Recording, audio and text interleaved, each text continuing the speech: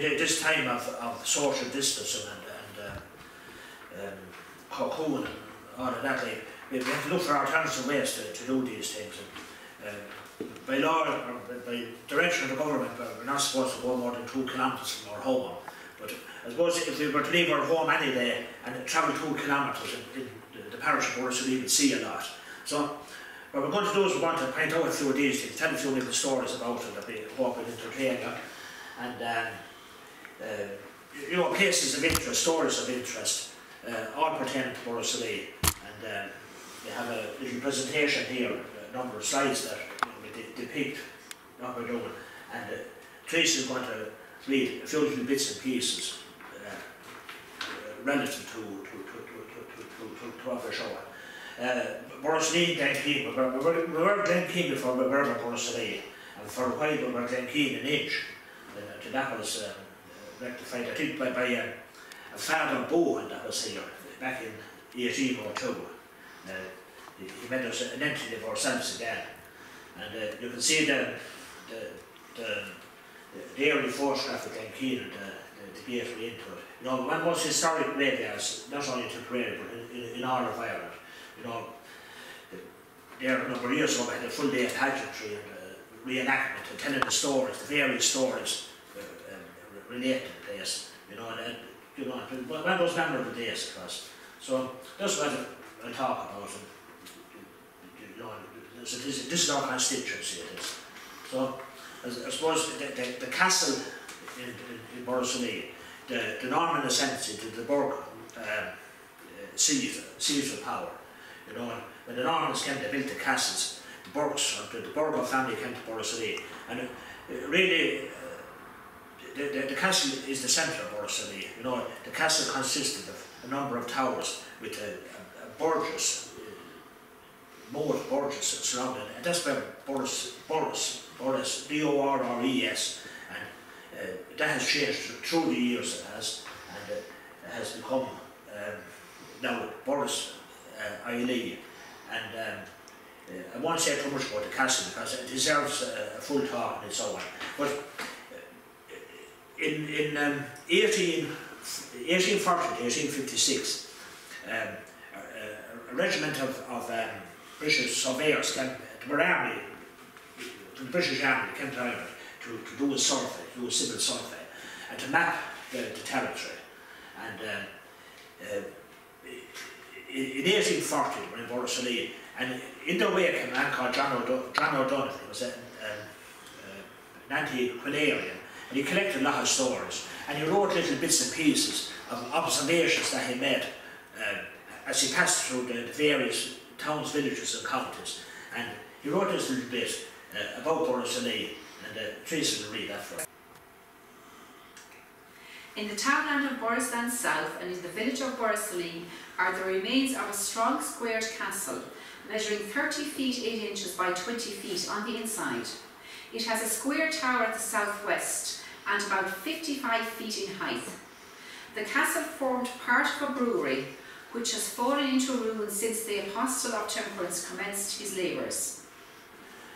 So the, the Apostle of Temperance a Matcher, so we, we can thank him or of course whatever you choose to do, uh, we have an equivalent of Murphy's or, or Guinness's in Borrisoleigh. Um, you know, it's amazing too, you know, the, the movement that was the temperance movement. And you know, the, the effect that I suppose it had on a, a, local economy as well. Clockanina Castle, where's Clockanina Castle? Um, it's on the border of, of um, uh, two towns lands, uh, Kilfithmone and Portalock. Now, today it would be in the parish of Drum, but back in um, uh, 16, 1646, in the, when, when um, um, the down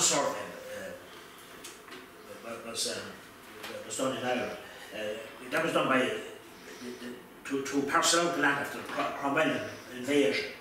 And uh, was documented on that map it was. And it was further documented then on the Samples map of the 1840. Um, in, in, uh, in 16, in, in 1646, um, uh, uh, the north went with it, you know, that, that area of Gortalock, Kilfithmone, was, it was in dispute between um, and, and, um, and, and the parish of, of, of Inch, or, or the parish of Kilfithmone, rather. So, today, you know, some of Kilfithmone, as we know it, is, is in the parish of Borrisoleigh, like, more of it is in the, the parish of Drum. So, uh, Clockanina, few, few enough people have heard of it, but still, um, a small little section that survives today, a small little bit of a stone wall.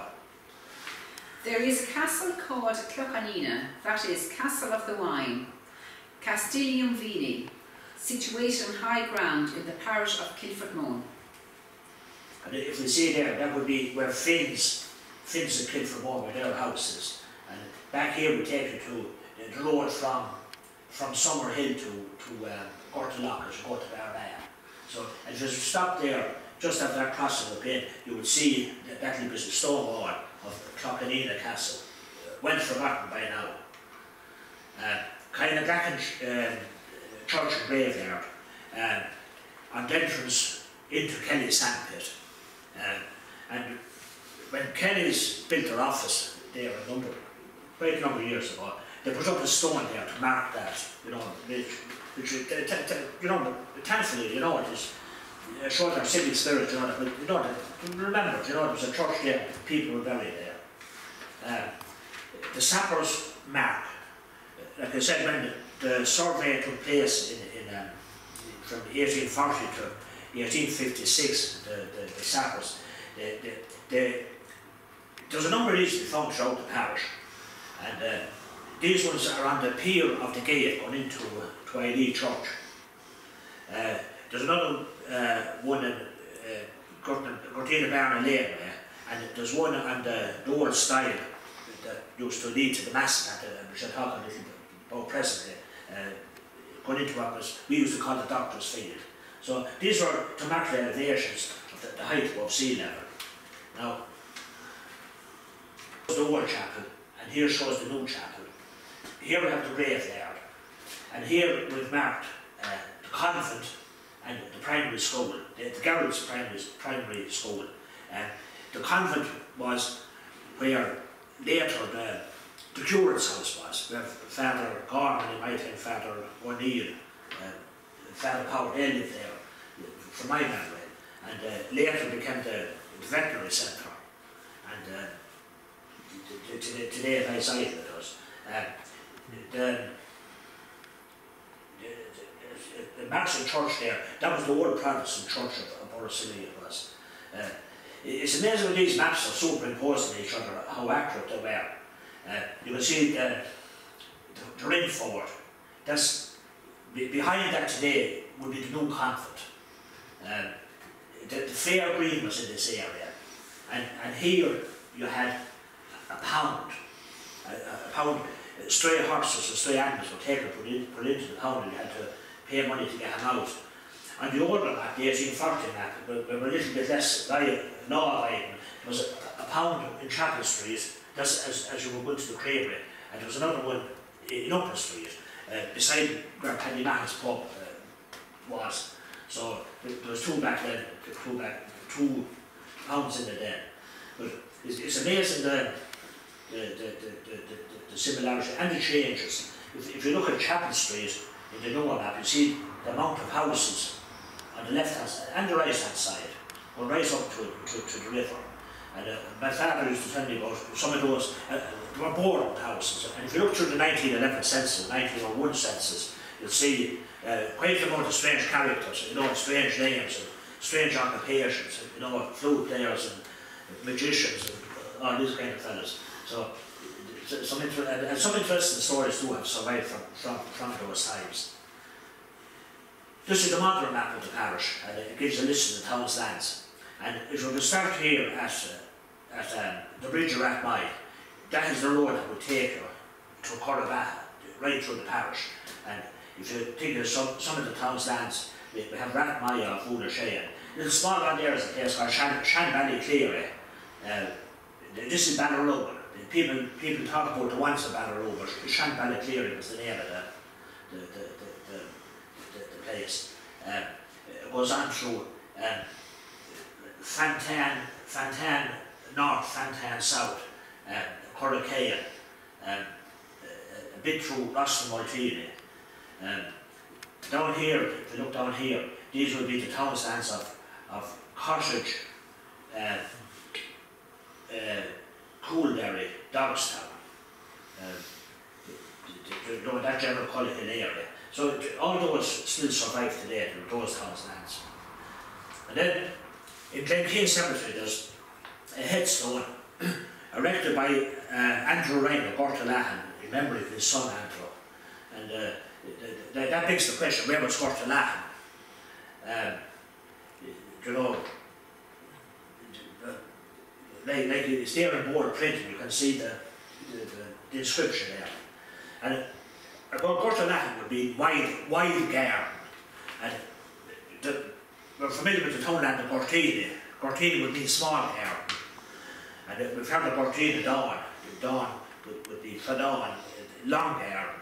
So I, I, I would have felt that was somewhere in there. And I did discover after uh, exactly where it was. I showed that presently. Knockakillen.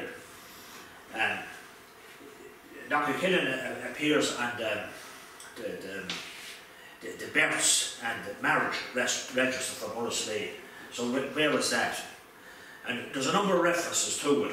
Um, uh, uh, in um, in, in um, around 1880, when, when um, you know, when some farmers would begin to, to you know, do fairly well in life, when they, when they reached having a valuation of ten pound, they could apply for a vote. And uh, a number of farmers, Kennedy's, um, O'Brien's, the, two I can think of from Knockakillen, they, they looked for that. So that, that the archives to us. Uh, Knockakillen would be the hill of the, the chapel. So the, in the Dúchas project of the 1940s, children wrote um, little stories that they were handed down for the generation before. Was uh, Chris Young of Kilmayan, who later be known as Chris Donnelly, she wrote about the, the, the, the, church that was there in that area, that area between Kilmayan and Corraleigh. Uh, and we see a little picture of the water there, and even on a dry day, it's still water it is.